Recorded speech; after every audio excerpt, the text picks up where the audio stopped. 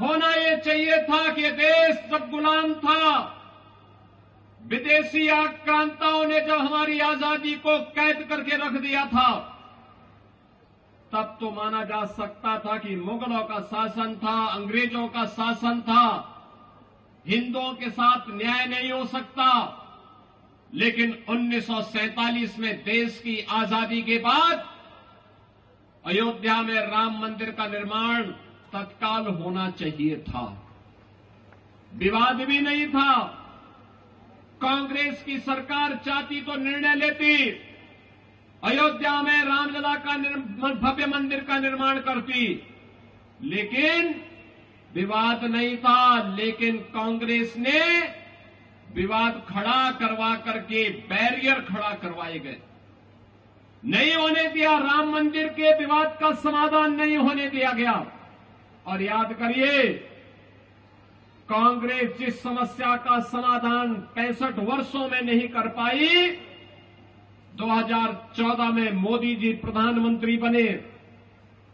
2017 में उत्तर प्रदेश में मोदी जी के आशीर्वाद और उनके आह्वान पर भारतीय जनता पार्टी की सरकार बनी 17 में, और 19 में अयोध्या में राम मंदिर का विवाद सदैव के लिए समाप्त हो गया।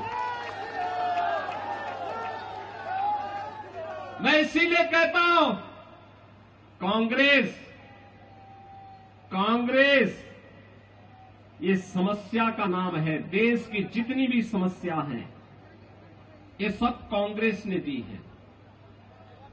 देश के विभाजन की त्रासदी हो, देश के बंटवारे की त्रासदी हो, देश को जाति के नाम पर, क्षेत्र के नाम पर, भाषा के नाम पर कमज़ोर करने की ये कुत्सित चेष्टा रही हो। देश को आतंकवाद, नक्सलवाद और उग्रवाद और अराजकता की भट्टी में धकेलने का कार्य रहा हो। देश में भ्रष्टाचार, परिवारवाद और भाई भतीजेवाद की दुष्प्रवृत्ति को फैलाने का रहा हो। ये सभी कांग्रेस की देन है।